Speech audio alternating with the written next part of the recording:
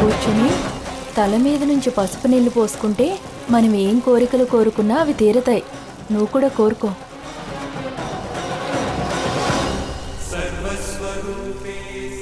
అమ్మా దుర్గమ్మ నేను ఇప్పటి వరకు నీ దగ్గర ఏదీ కోరుకోలేదు. ఇన్ని సంవత్సరాల తరువాత నాకు తాత ఉన్నారని తెలిసింది. ఆ పెద్ద ఆయనకేమీ కాకుండా నువ్వే చూసుకోమ్మా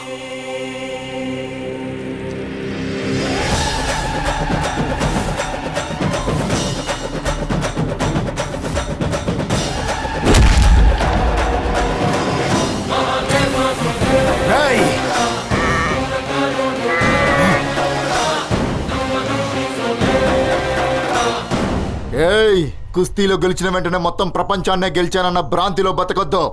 ఒక్కడి మీద చెయ్యి వేసే ముందు ఆ వ్యక్తి ఎవరు ఎక్కడోడు ఏ ఇంటి వారు అని తెలుసుకునేది ముఖ్యం. రాజంపేట వైపు వెళ్ళి అడుగు సింహం వంశం అంటారు.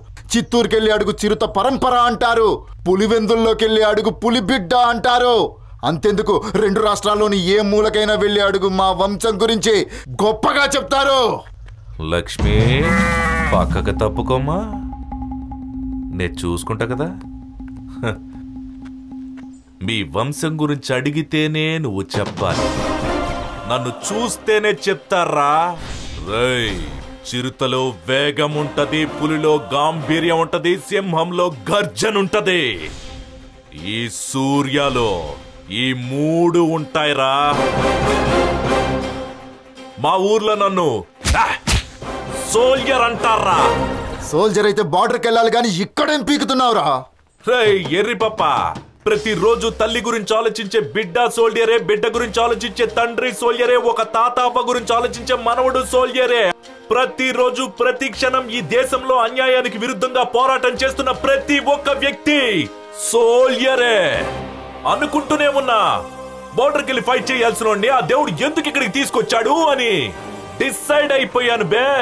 నేను యుద్ధం చేయాల్సింది అక్కడ కాదు ఇక్కడ అని ఫిక్స్ అయ్యని అబ్బా నువ్వే పాకిస్తాన్ నేనే హిందుస్థాన్.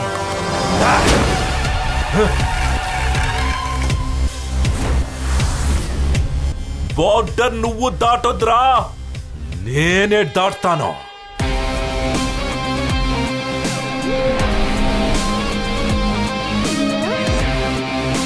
Ah! వెళ్ళండ్రా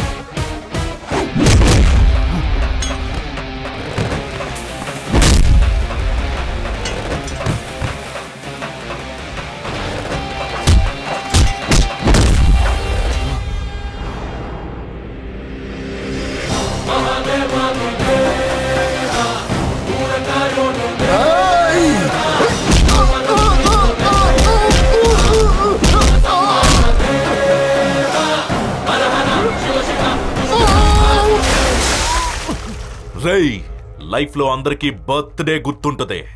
కానీ ఎవరు డెత్ డే తెలుసుకోలేరు. నీ డెత్ డేట్ నేను చెప్తాను కరెక్ట్గా వినిపించుకో. వాళ్ళు ఎప్పటిదాకా ఊపిరి పీలుస్తుంటారో అప్పటిదాకా మాత్రమే నీ వ్యాలిడిటీ.